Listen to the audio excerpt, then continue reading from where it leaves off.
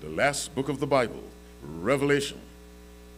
Notice the title. It's not closation, it is revelation, which means it should be understood by those who desire to understand. Do you have Revelation 21, verse 14? If you have the King James Version, you may read with me. And the wall of the city had what? 12 foundations. Finish that verse. And in them what? The names of the 12 apostles of the Lamb. Of course, that does not include Judas. He was replaced by Matthias. The names of the disciples are on the 12 foundations of the New Jerusalem. Are you with me? When Jesus told the disciples, Thou art Peter, and upon this rock I will build my church, those 12 men were the, were the beginnings of the New Testament church. Go to Ephesians 2. We have to look at the men who said, We will go to prison, we'll die for you. All, all 11 said that, of course, minus Judas. Ephesians chapter 2, we read verse 19. Paul is writing to Gentiles. God sent him to the Gentiles, and he sent Peter to the Jews. You have verse 19 of Ephesians 2. Let me pray again. Fathers, I continue, give me clear, simple language, I pray. In Jesus' name, amen. Now, therefore, ye are no more strangers and foreigners, but what? Fellow citizens are with the saints and of the household of God. Keep reading. And are built upon the foundation of the apostles, come on, and Jesus Christ himself being the chief cornerstone. Now, here again we have the apostles are the foundation of the early church, of which Christ was the chief cornerstone. And so we read in Revelation 21 14, the names of the apostles, the disciples, will be on the 12 foundations of the holy city. Here we're reading that their names or they are the foundation. In other words, when Jesus Christ called those 12 men, he called them to form the seed, the nucleus as what we know to be the New Testament church. Now, let's go back to uh, Matthew, not Matthew, Luke 22, and let's read verse 34. Luke 22, verse 34. Well, let's read 33 and 34. Let's get Peter's response and then Jesus. Luke 22, 33, 34. Do you have that? You may feel free to read with me. And he said unto him, What? Lord, I am ready to go with thee both into prison and to death.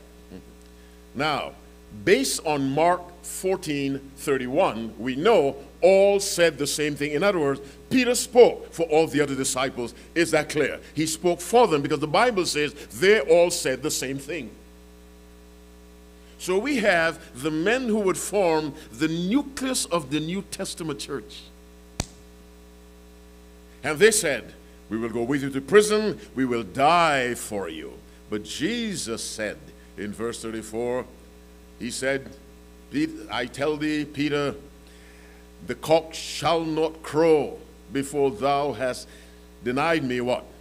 That thou knowest me, thrice denied that thou knowest me. In other words, and of course, in Mark 15 or 14, 50, the Bible says they all forsook him and fled. What am I trying to say? The nucleus of the early church, at a certain point in their spiritual development, denied Christ. I didn't say that clearly. You look confused. Let me try again all the disciples forsook Christ and fled. These were the men whose names subsequently will be placed on the foundations of the holy city. What I'm trying to get you to understand, the nucleus of the early church turned its back upon Christ temporarily. When they realized what they were facing, when they dipped their feet into the hot water, they ran. But what's our subject? The danger. What was their intention? Come on, tell me. To go where? To prison? Come on. And to death.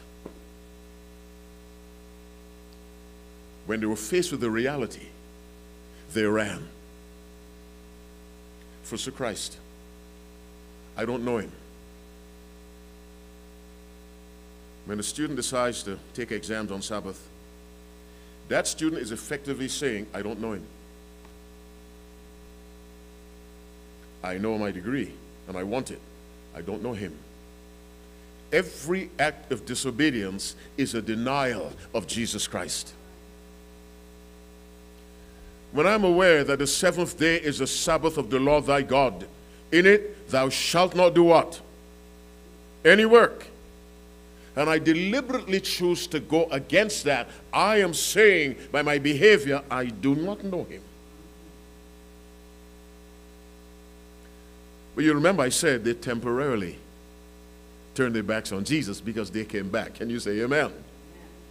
Why am I bringing this to your attention? We are close to what is called the time of trouble. And everyone in the church loves Jesus. You see where I'm going? Everyone in the church have never been to a church where anyone said, I hate Jesus.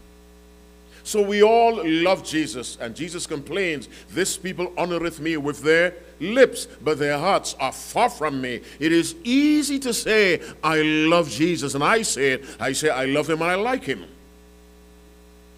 But when the trial comes, will I be faithful to Jesus? In order for that to happen, we must be faithful to him now in little things that do not constitute major persecution. Let me say that differently by taking you to Luke 16. It's 25 minutes to 1. I still intend to release you by 1. It does not take God long to bless his people. Ellen White counsels preachers cut your sermons in half. So I'm trying to, she probably saw me when she wrote that counsel. So I'm trying to obey that counsel. What book did I say? What chapter? What verse? I said 10. Yes, I said 10. I think I said 10. Didn't I say 10? No. Then I have sinned. Okay, forgive my sins. Verse 10 of Luke 16. When you found it, say amen. amen. Read with me if you have my version. What does it say? He that is faithful in that which is, come on, is faithful also in much. Keep reading. And he that is unjust in the least is unjust also in much. Now, that's a principle by which God deals with us. There are some people they come to the church, they're baptized, and the next week they want to be head elder. Are you following me? they haven't proven their faithfulness in that which is least. They want to jump right into that which is much.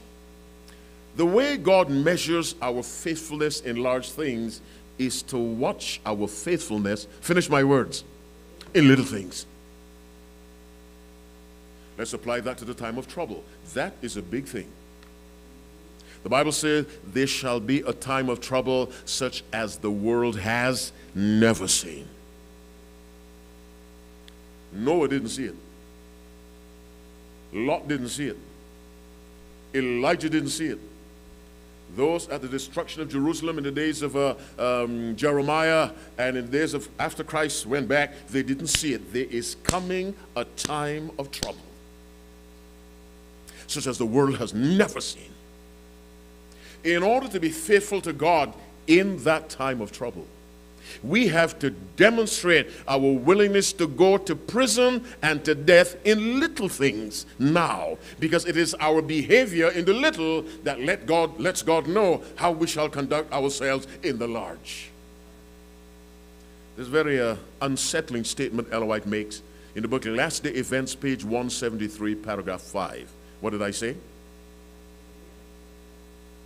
Last Day Events, page 173, paragraph 5. I'm checking to see if you're listening. Here's what she says Prosperity multiplies professors.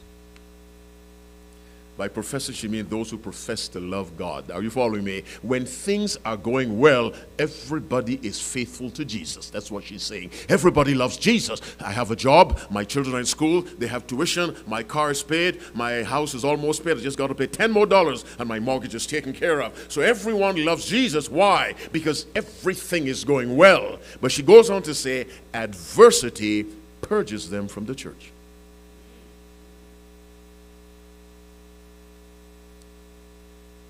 There's something called training camp in whether it's NFL, NBA, NHL or Major League Baseball, there's something called training camp. You talk to any athlete, they hate training camp. Are you following me? Because that's where the rookies are weeded out. The, the coach watches you, who is ready for the real thing. When you know opening day begins this Sunday or that Sunday, they hate training camp. It is so hard. You want to be a Navy SEAL? They hate BUD/S. It's called basic underwater demolition something. The training is tough. You're allowed to sleep about once for an entire week. To weed out the weak. Weed out the weak. God has to weed out those who only worship Him by what they say and not from the heart. And so the servant of the Lord says, prosperity multiplies professors. Everybody loves God because things are going well. Adversity purges them from the church. There's an adversity coming. In order to survive, as I said earlier, we must demonstrate faithfulness to God in little things now.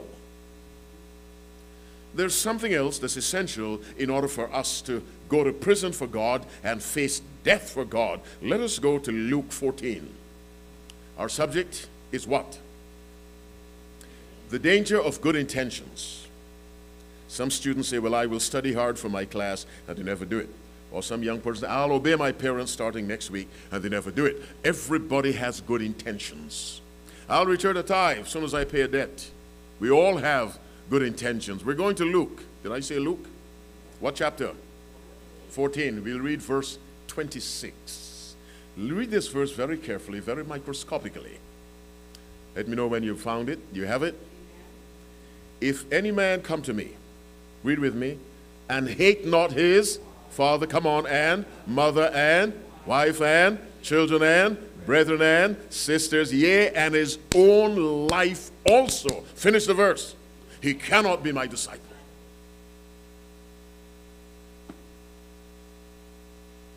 Don't look so depressed. You see, a decision to follow God is a serious decision. You're saying, God before my life. You didn't get it. Let me try again. On the cross, Jesus said, You before my life.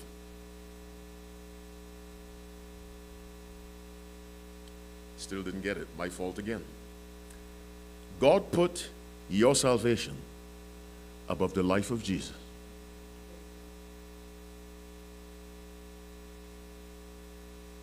Mm-hmm.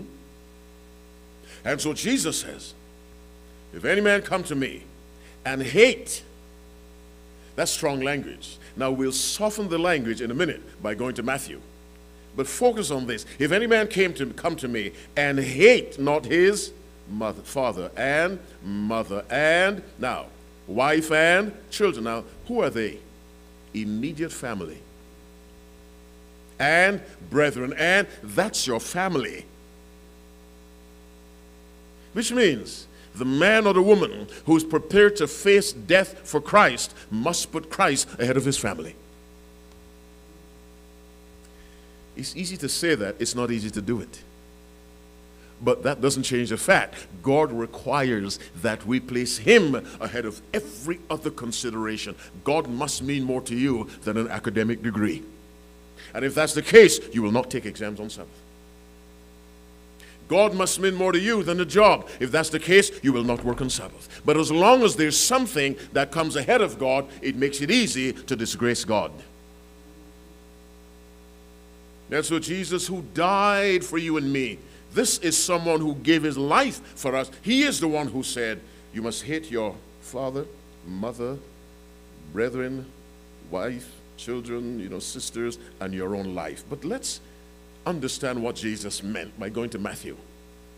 The Ad- uh, Assembly Adventist Church has a principle of Bible study, which is here a little, there a little, come on, line upon line, precept upon precept.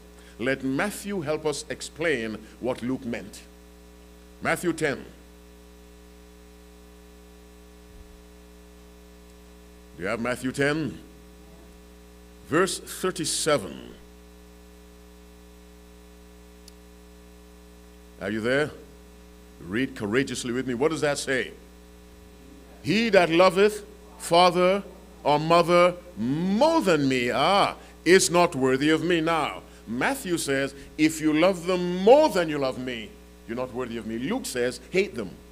What Luke actually means is love Jesus more. That's what Luke really means. But he uses strong, sometimes strong language is needed to capture someone's attention. And so Luke says you got to hate your father, hate your mother. He does not really mean that. What he means is your love for God must be so much greater than your love for anybody else. That principle is God first. That's how Jesus lived. That's how those apostles, after they were converted, that's how they lived. Let's look at the life of Paul as we continue good intent, the danger of good intentions. Go to Acts chapter 20. Luke says we must hate your own life. Acts chapter 20, we read from verse 22. This is the life of Paul. Our subject, the danger of good intentions. It is a quarter to one. Do you have Acts chapter 20? Who wrote the book of Acts? Luke. All right, very good. Whoever gave that answer.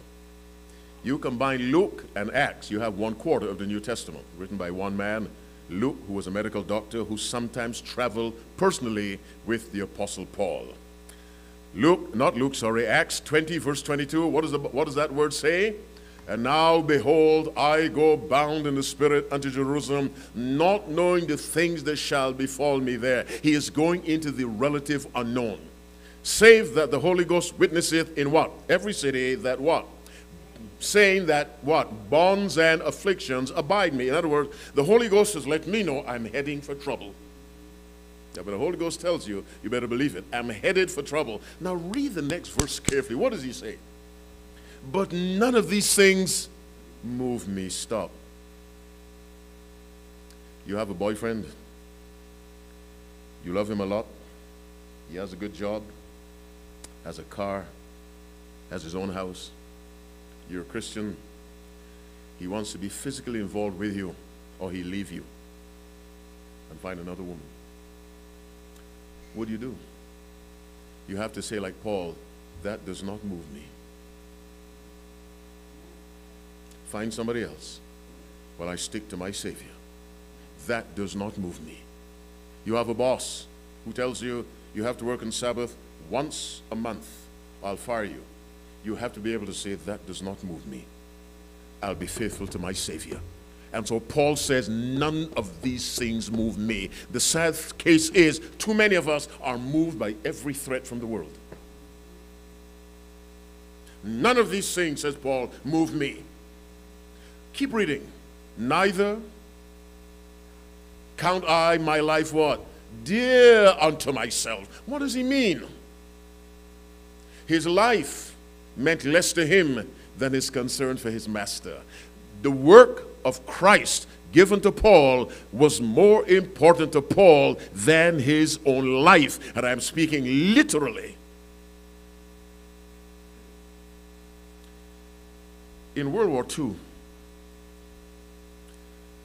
when the United States were winning the, the war in the, the, the, the naval war in the South Pacific, South, wherever that was, Midway and those battles, the Japanese turned to a tactic using kamikaze pilots.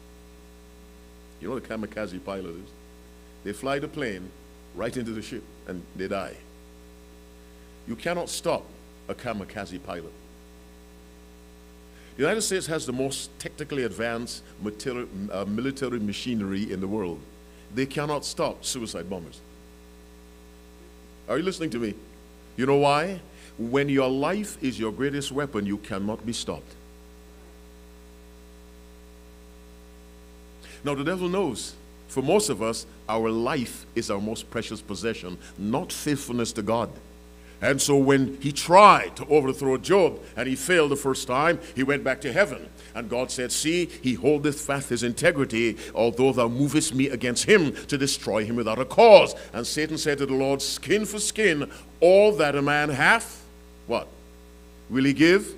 For his life. And the devil was overwhelmingly right. The devil is telling God, look, Job may not mind the loss of his material possessions, but if I threaten his life, he leaves. Of course, he was wrong in the case of Job. The devil is right in most cases. When the life is threatened, we leave God in order to save our lives. And so Satan said, Skin for skin, all that a man hath will he give for his life. Policemen tell you if you're hijacked, give up the car. Why? Because your life is more precious than a car. Give up the wallet, give up whatever, the cell phone, the iPad, because none of these things can compare with your life. When the devil hijacks you, hmm, be prepared to give up your life for God. And so, believers say, Lord, I am ready to go with you, both into prison and to death. The moment the fire touched the feet of Peter, he turned and ran. And all the other disciples ran with him and left Jesus alone.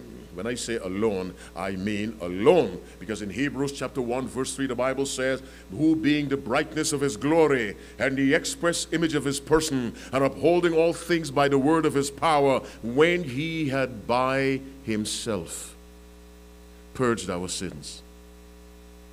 The reason why Christ did not run with the disciples, because Christ was human.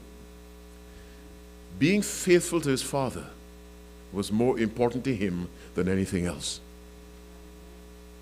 Now, let me tell you how human Jesus was. He prayed three times in Gethsemane, Lord, Father, if thou be willing, remove this cup. He felt it. He was suffering. He bled through his skin. You and I have never experienced that. He bled through his skin. He was suffering what you and I have never suffered, but his faithfulness to his Father was greater than his suffering. When we suffer pain, we go to the drugstore and we buy a painkiller. I remember once I had some dental work done, then the dentist gave me a prescription for, he said, be careful, this, this can be addictive. And he gave me this painkiller. Faithfulness to God is a painkiller. Let me explain. Remember the woman at the well in John chapter 4? Are you following me?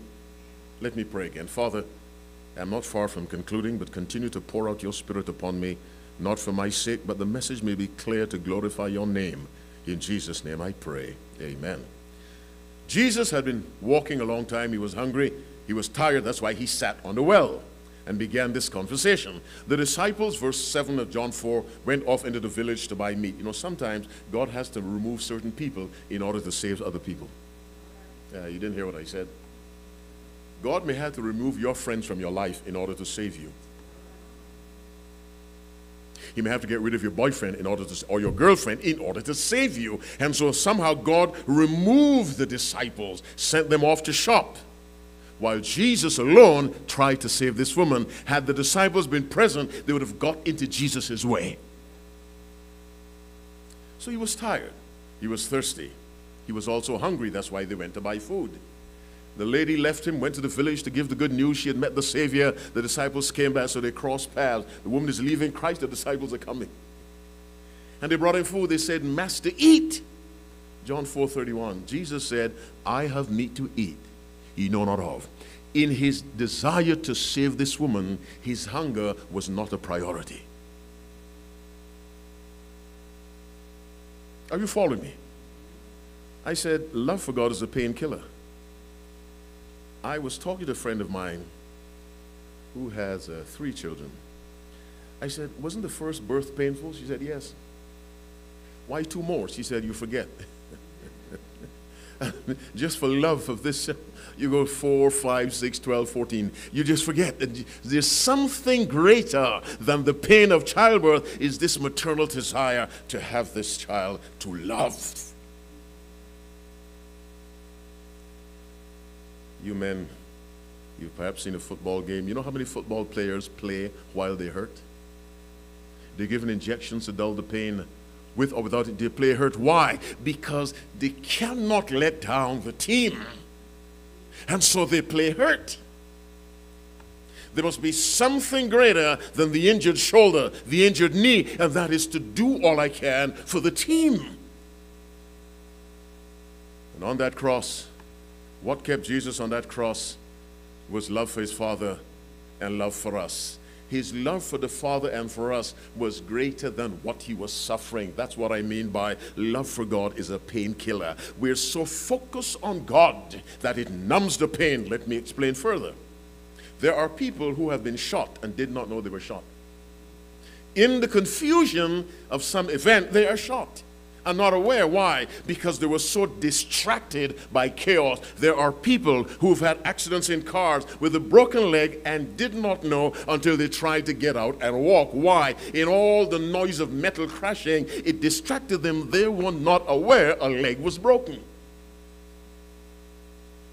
Love for God should distract us from every other concern on the face of the earth.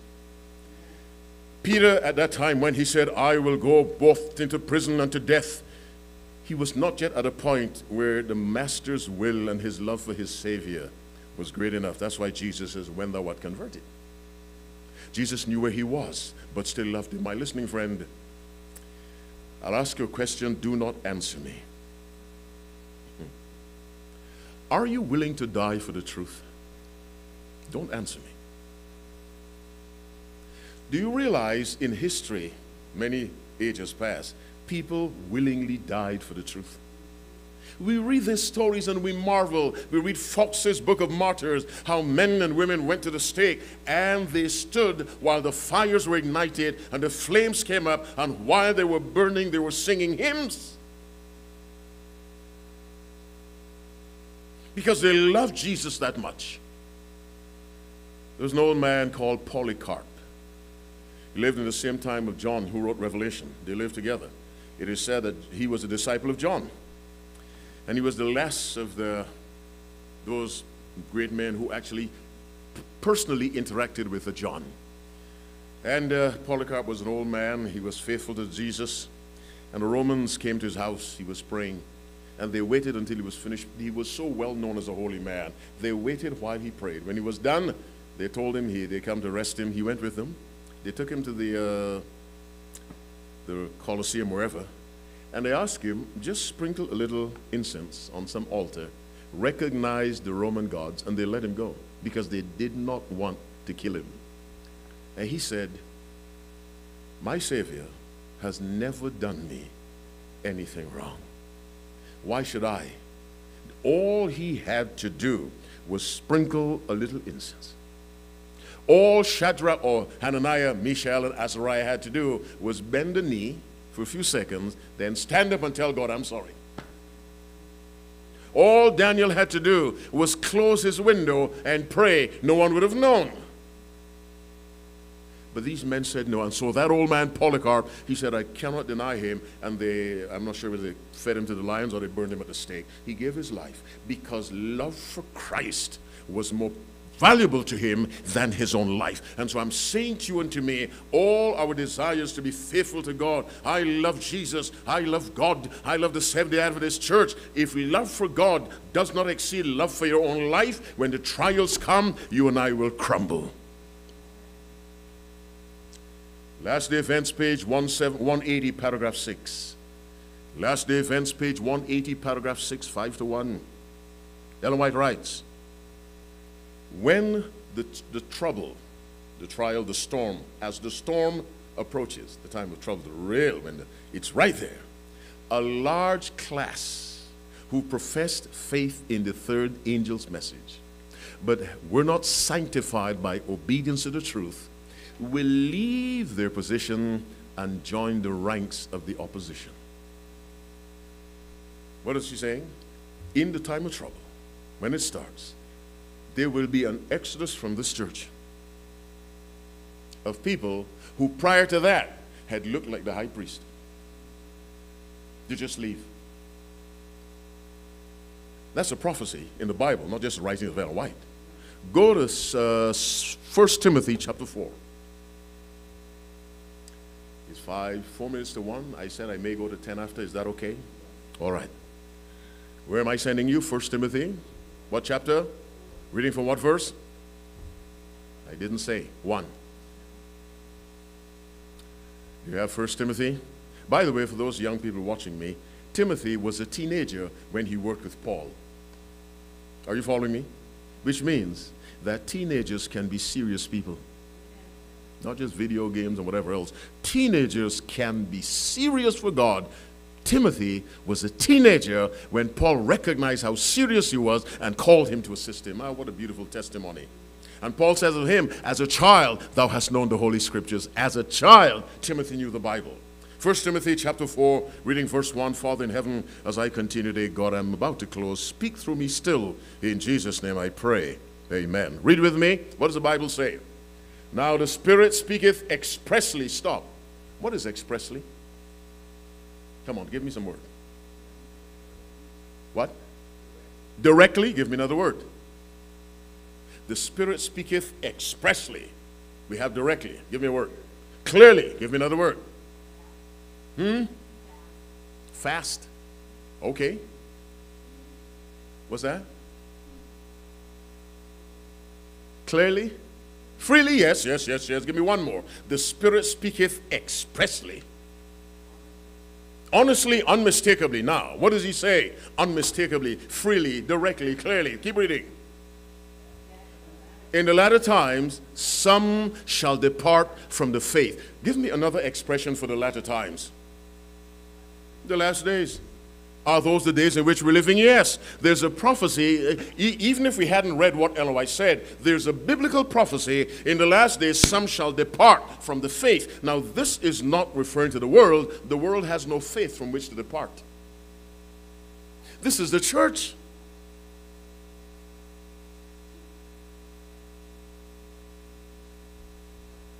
Let's see that repeated somewhere else. Go to Second Thessalonians chapter 2. Second Thessalonians chapter 2.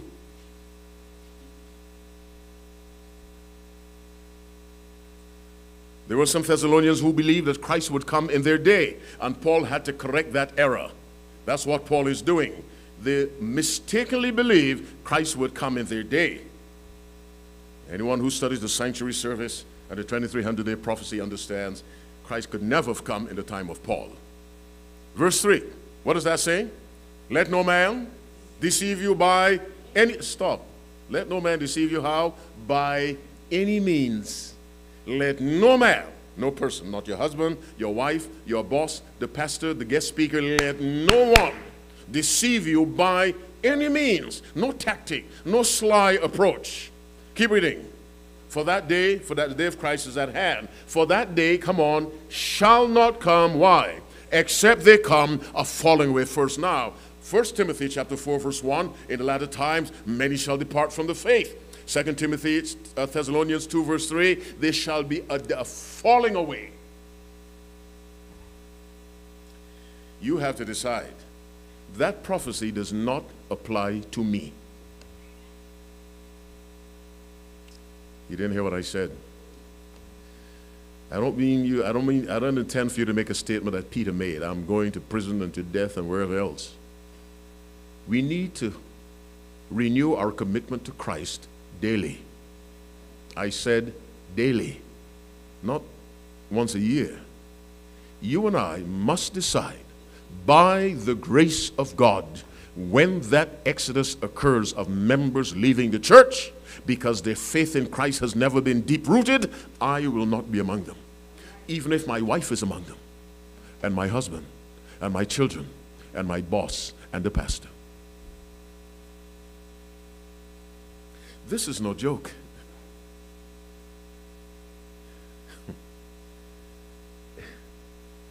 How can I say this and not depress you any more than I seem to have already done? Most people will be lost.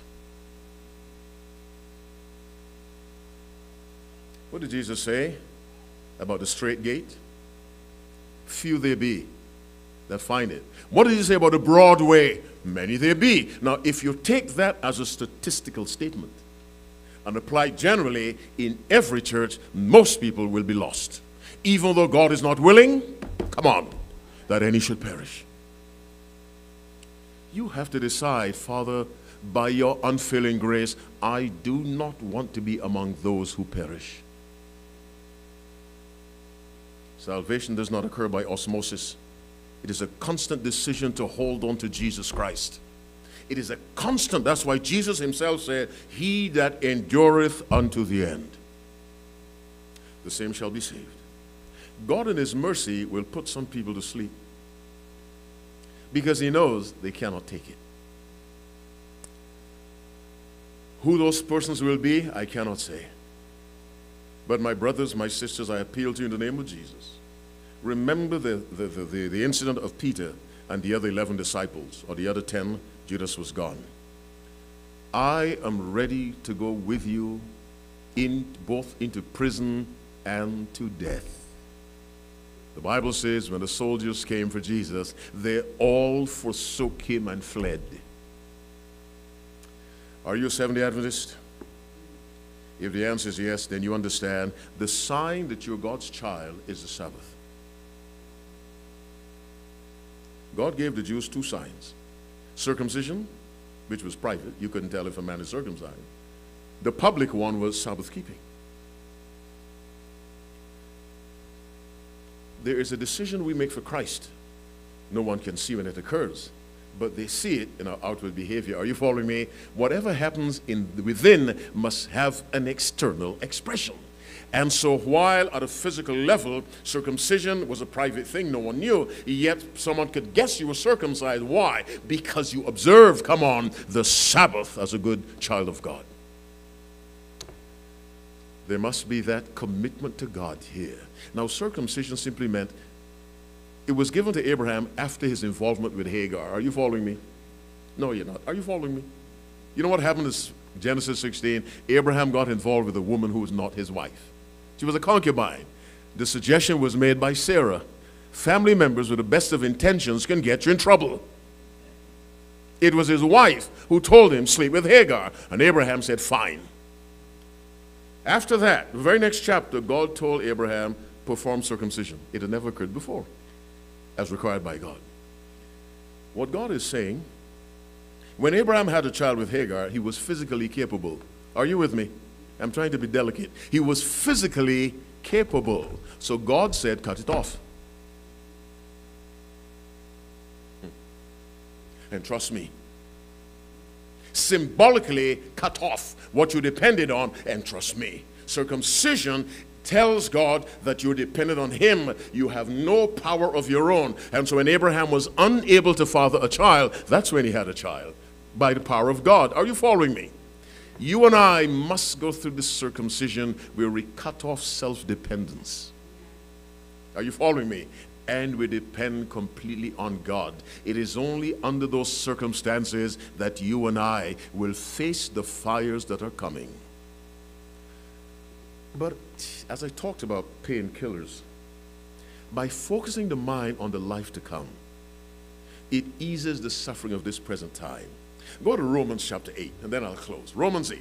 I'll close the subject, the danger of good intentions. It's a five after one. Thank you for allowing me to go beyond. God bless you for being so kind. Do you have Romans 8? Read for me verse 19. Not 19, sorry, 18 if you have it.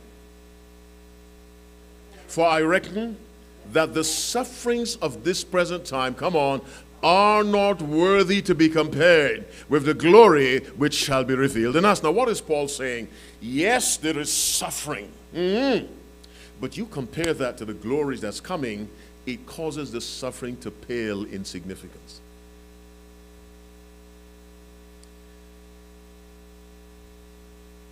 When I uh, the Bible says of Jesus, who for the joy that was set before him endured the shame, despising the cross. In other words, when he saw what his sacrifice would accomplish, that meant more to him than the suffering of the cross of Gethsemane. As a matter of fact, when Christ suffered in the garden because all the disciples were sleeping, there was no one to support him, God sent an angel, the angel Gabriel. And the angel showed him all those who will be saved if he went through with the sacrifice. When he saw that, of course, the Father, he went because that was greater than his suffering. there must be something greater than your fear of persecution to come, and that must be your love for God. Because of love for God, I'll suffer this or that or the next.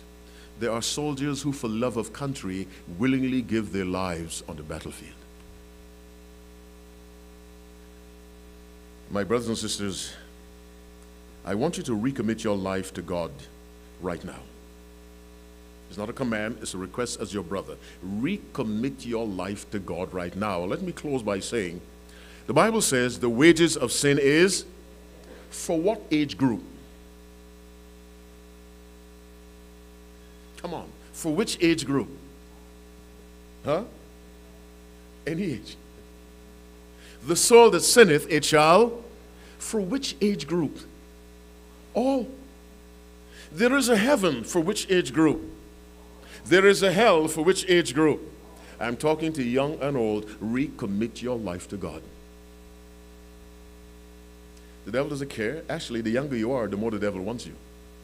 Because he knows if he can get you young, he has a chance to keep you forever. And so while the Bible says, Remember thy creator in the days of thy youth, the devil says the same thing. Remember me. Because once he has you, he can keep you. I was a Catholic when I was a little boy. And the Catholics had a saying, probably still have it give me a child for the first seven years, I'll give you a Catholic for life. That's no joke.